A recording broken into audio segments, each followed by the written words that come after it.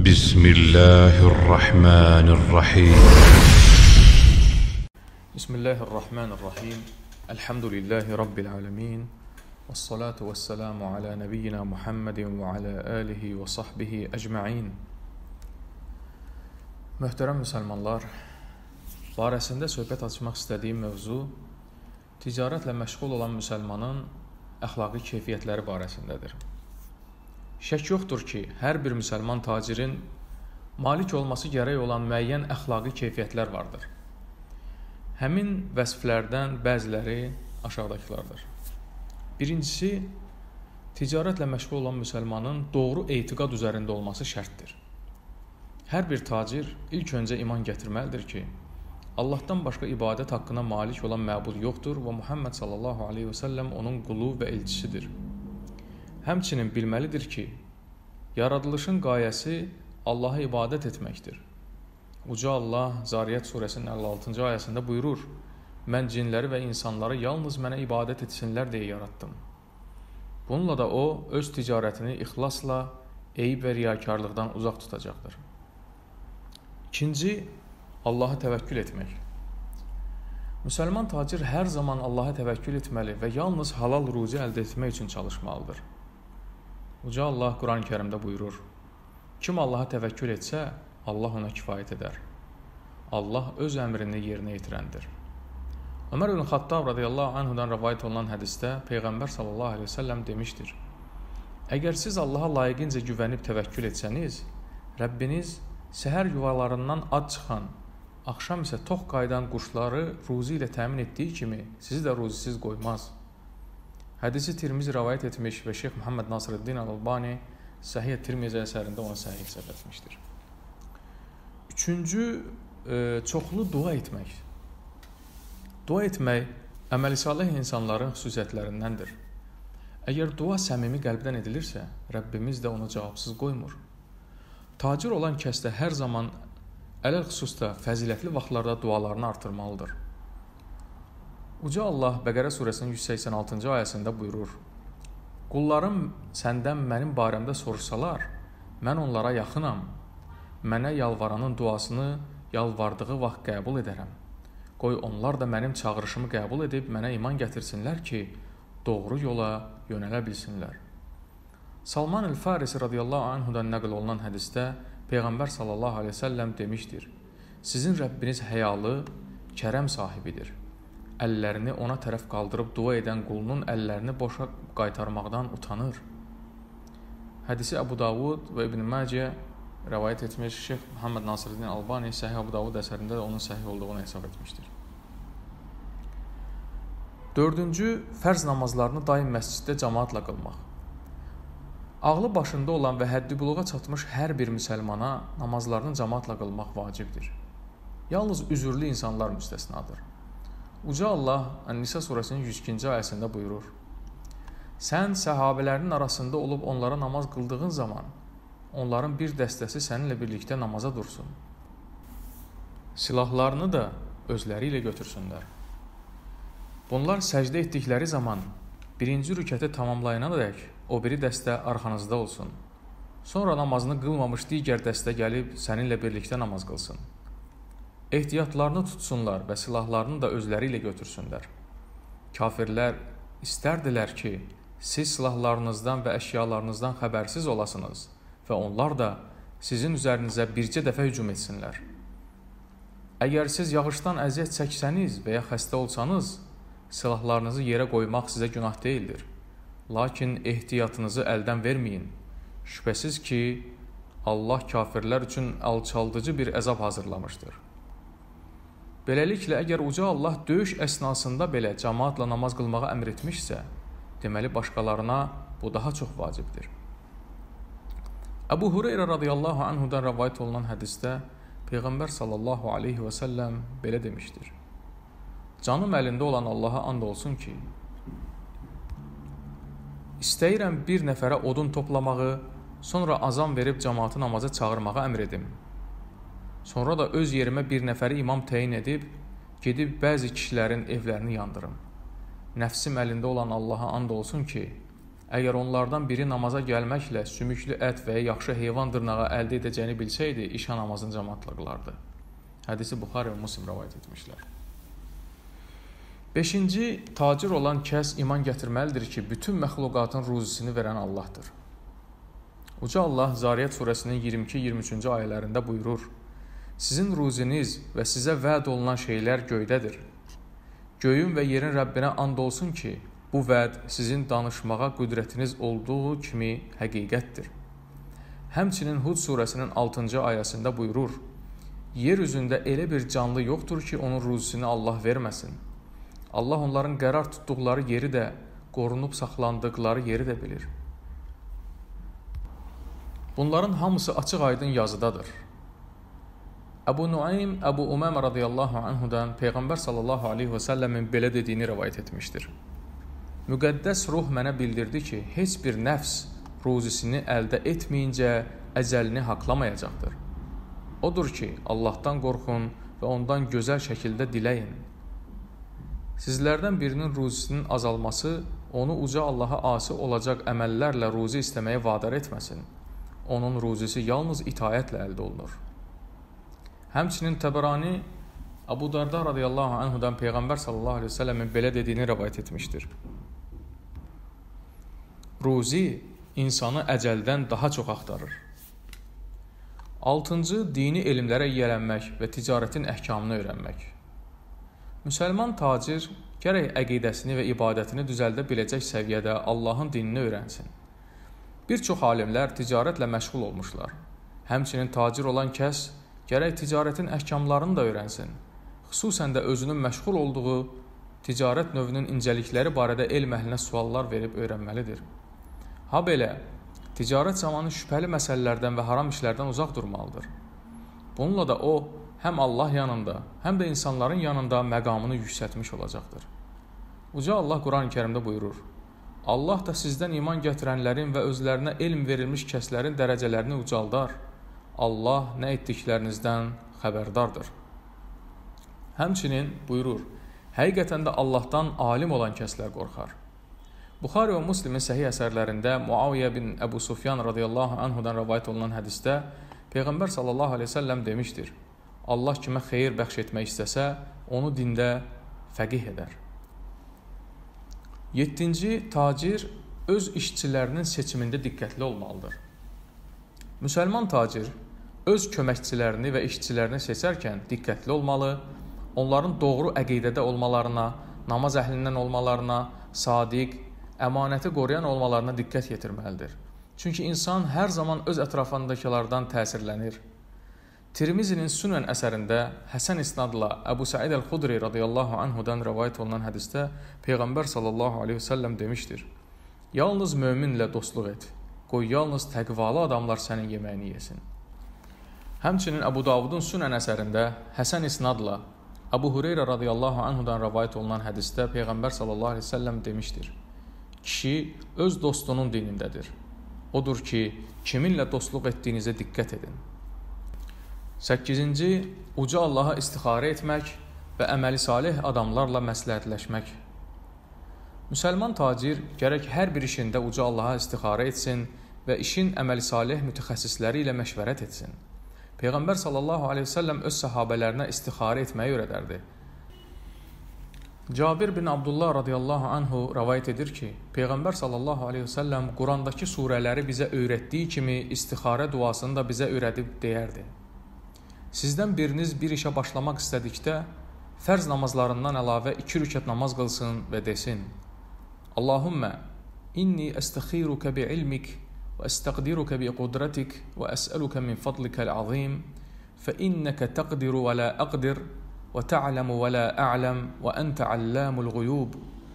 اللهم إن كنت تعلم أن هذا الأمر خير لي في ديني ومعاشي وعاقبة أمري عاجله وآجله فاقدره لي ويسره لي ثم بارك لي فيه. وان كنت تعلم ان هذا الامر شر لي في ديني ومعاشي وعاقبه امري عاجله واجله فاصرفه عني واصرفني عنه فاقدر لي خيرا حيث كان ثم ارضني به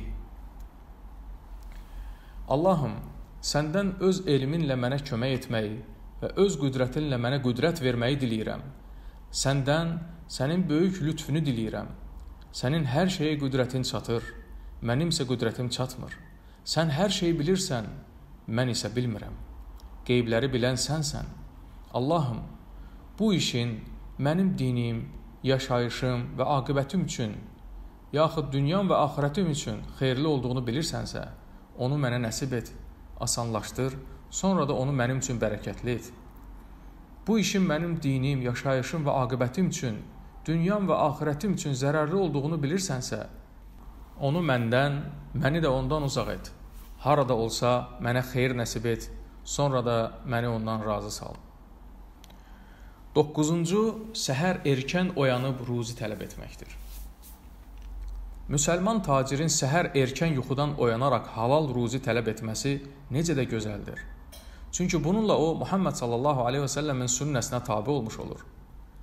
Tirmizi Saxr el-Qamidi radiyallahu anhudan səhih isnadla Peyğəmbər sallallahu aleyhi və səlləmin belə dediyini rəvayət etmişdir. Allahım, mənim ümmətimə erkən vaxtlarında bərəkət ver. Dedi, beləliklə o, harasa bir ordu göndərdikdə səhər tezdən göndərərdi. Hədisi rəvayət edən Saxrda tacir birisi idi. Ticarət üçün də kimisə göndərdikdə səhər göndərər, həmin adamın da ruzisi başından aşardı. Ümumiyyətlə, səhər erkən yuxudan oyanan şəxs fikrini daha yaxşı cəmləyir, işlərini daha tez başlayıb tez də bitirir və daha məhsuldar iş görmüş olur ki, bu da məhz bu vaxta verilmiş bərəkətin sayəsində olur. 10-cu yaxşı işlərə dəvət edib pis işlərdən çəkindirmək. Müsəlman tacir gərək etdiyi ticarətlə bərabər insanları bacardığı qədər hikmətlə və gözəl sözlərlə uca Allahın yoluna dəvət etsin onları pis işlərdən çəkindirsin. Uca Allah Qurani-Kərimdə Ali İmran surəsinin 110-cu ayəsində buyurur: Siz insanlar üçün üzə çıxarılmış ən xeyirli ümmətsiniz. Onlara yaxşı işlər görməyi əmr edir, pis əməlləri qadağan edir və Allaha iman gətirirsiniz. Bəzi sələflər demişdir: Bu ümmət məhz bu sifətinə, yaxşı işlərə əmr edib pisliklərdən çəkindirdiklərinə görə digər ümmətlərdən üstün edilmişlər. Nəhl surəsinin 125-ci ayəsində isə uca Allah buyurur: İnsanları Rəbbinin yoluna hikmətlə, gözəl öyüd nəsihətlə dəvət et və onlarla ən gözəl tərzdə mübahisə et. Şübhəsiz ki, Rəbbin azğınlığa düşənləri də, doğru yolda olanları da yaxşı tanıyır. İmam Muslim Əbu Said el-Xudri radiyallahu anhudan Rasulullah sallallahu aleyhi və səlləmin belə dediyini rəvayət etmişdir. Sizlərdən kim bir münkər əməl görərsə, onu əli ilə, bacarmasa dili ilə, yenə bacarmasa qəlbi ilə dəyişdirsin. Bu isə imanın ən zəif olanıdır. Sonra da bilmək lazımdır ki, bir insanın sənin vasitənlə hidayətə gəlməsi sənin üçün bu dünyadakı ən bahalı minikdən daha xeyirlidir. Peyğəmbər sallallahu aleyhi və səlləm Allaha and içərək Ali radiyallahu anhuya belə demişdir. Allaha and olsun ki, sənin əlinlə bir insanın hidayətə gəlməsi sənin üçün qırmızı dəvələrdən daha xeyirlidir. Alimlər bu hədisin şərhində deyirlər ki, qırmızı dəvə Peyğəmbər sallallahu əleyhi və səlləmin vaxtında ən bahalı minik vasitəsi hesab olunurdu. Bunu da dövrümüzdəki ən bahalı nəqliyyat vasitələri ilə müqayisə etmək olar. 11-ci şübhəli məsələlərdən uzaq durmaqdır. Müsəlman tacir gərək halal və haram məsələləri, ha belə şübhəli məsələlər barəsində bilmədiklərini elm əhlindən soruşub öyrənsin. Buxari və Müslimin səhih əsərlərində Nu'man bin Bəşir radiyallahu anhudan rivayet olunan hədisdə Peyğəmbər sallallahu alayhi və səlləm belə demişdir. Həqiqətən halal da bəllidir, haram da. Onların arasında halal və haramlığı bəlli olmayan şübhəli şeylər vardır ki, bir çox insanlar bunu bilməzlər. Kim şübhəli şeylərdən çəkinərsə, dinini və namusunu qorumuş olar. Kim ki şübhəli şeylərə düşərsə, harama düşmüş sayılar. Onun halı qoruğun ətrafında sürüsünü oturan çobana bənzəyər ki, az qala sürü qoruğa girsin. Bilin ki, hər bir hökmdarın qadağa bölgəsi, qoruğu vardır. Allahın qoruğu isə onun qoyduğu qadağalardır. Bunu da bilin ki, bədəndə bir ət parçası vardır. Əgər o sağlam olarsa, bütün bədən də sağlam olar. Yox, əgər o fəsada uğrayarsa, bütün bədən də fəsada uğrayar. bilin ki, o ət parçası qəlbdir. 12-ci alış-veriş zamanı Allaha and içməkdən çəkinməkdir. Müsəlman tacir doğru söz söylədikdə belə Allaha and içməkdən çəkinməlidir. Çünki Peyğəmbər sallallahu əleyhi və səlləm ticarət zamanı bizlərə and içməyə qadağan etmişdir.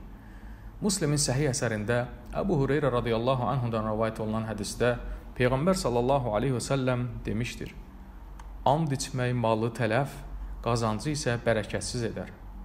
Odur ki, müsəlman tacir gərək alış-veriş zamanı and içməkdən çəkinsin. Uca Allah öz kitabında buyurur: Həqiqətən də Allah ilə olan əhdlərini və andlarını ucuz qiymətə satan kəslər üçün axirətdə heç bir pay yoxdur. Allah onları danışdırmayacaq, qiyamət günü onların üzünə baxmayacaq və onları təmizə çıxarmayacaqdır.